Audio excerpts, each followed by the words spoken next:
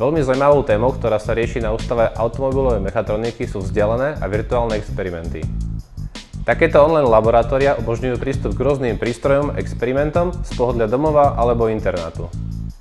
Tieto experimenty sú dostupné 24 hodín denne a preto s ním študenti alebo výskumníci môžu pracovať prakticky od všadiaľ.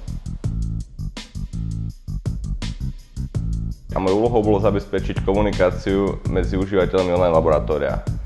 Komunikácia je zabezpečená viacerými spôsobmi. Jedným z nich je e, online chat, ktorý beží v reálnom čase, iným zase fórum, kde ľudia môžu diskutovať o rôznych problémoch.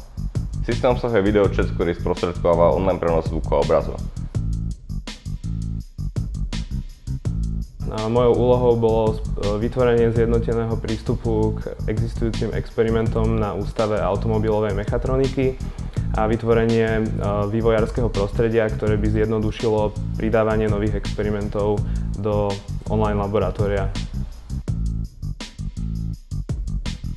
Pracovali sme tu spolu na návrhu online riadenia e, pre model Segwaya.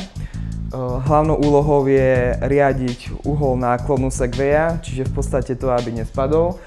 Problém sme poňali zjednodušenie, pretože náš cieľ je riadiť iba uhol náklonu a nie aj uhol natočenia Segwayu. Samotní používateľia môžu navrhovať uh, regulátor pre toto zariadenie uh, či už pomocou zadávania parametrov jednoduchého PID regulátora, alebo si môžu navrhnúť svoju vlastnú regulačnú schému, alebo pomocou rovníc Open Modelike.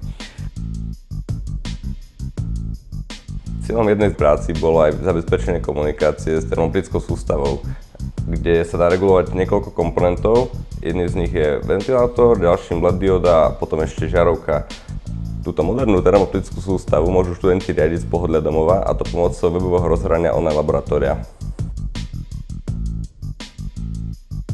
Pracovali sme na tomto experimente, ktorý má slúžiť na to, aby vlastne študenti, ktorí prídu na túto školu a majú možno malé alebo žiadne skúsenosti s programovaním, tak vďaka tomuto experimentu si, si môžu, môžu pochopiť a mať jednoducho vizualizované základné programovacie princípy, nejaké cykly, slučky a takéto veci. Takouto formou sme vlastne chceli viacej zaujať týchto študentov k tomu, k tomu rozvoju programovania.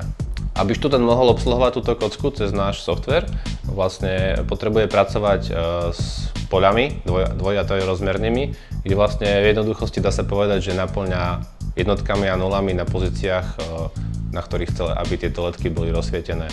Je to konštruované takto, aby, aby sa to naozaj dalo programovať študentom, ktorí nemajú veľké skúsenosti a preto e, sa všetko dá realizovať pomocou základných slučiek a cyklov.